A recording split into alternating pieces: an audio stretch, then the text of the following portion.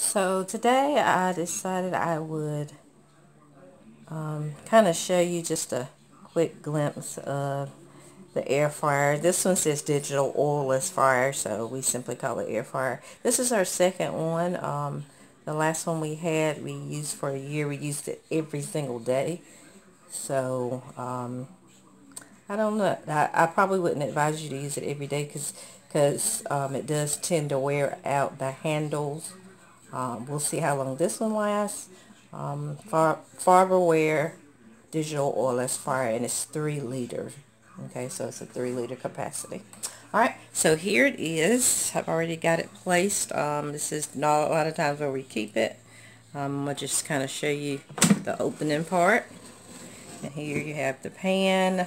I've already oiled it down for the baking. You really don't have to put any oil because it does say oilless.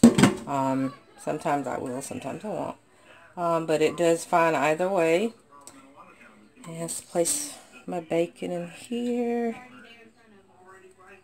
This is great value bacon, thick sliced bacon by the way. Uh, what kind of bacon do you all tend to um, get? Brand or style or flavor, either one. The flavor doesn't really matter to me. I just don't do the turkey bacon. Turkey bacon is beautiful. Like it has like a, a look like no other meat. But the taste is just not there for me. So I'm going to put this in. I have not heated it up. Some people tell you to preheat. Um, I've never really preheated on this one or the last one. Alright, so right now with this one you simply hit the blue button to get it going. I'm going to put it on 350 or temperature. And we're just really getting used to this one so I'm probably going to go with um, 10 minutes 350 and we'll just kind of see. No I have not read the book. Um, I felt like we kind of learned enough with our last one. Um, but we're still trying this one out to see what it's like as far as how quickly it heats and the temperature and the time and all that okay? So now I'm just gonna hit that button and here we go I think you can hear it in case you're wondering this is where it comes out at. I'm not sure. I think that right there is just some, for some reason there's some frosting on the back. I'm not sure. Maybe one of us bumped it or something. Okay, so I'll get back with you in a minute. Okay, so it's on its last minute. Our son doesn't really like his extra crispy, so I decided to go with just the 10 minutes. So far we love this Farberware brand. Um,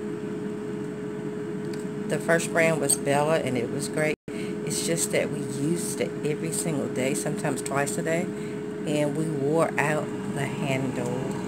The screws inside started coming out.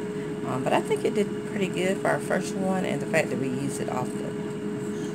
Okay, so let's see what it looks like. Should be getting down to the last few seconds. At least I think so. Okay, so here it goes. And this is the way the screen goes once you're not using it anymore. Let's check out my son's bacon. Okay, so that's about the way he likes it. I like mine crispier.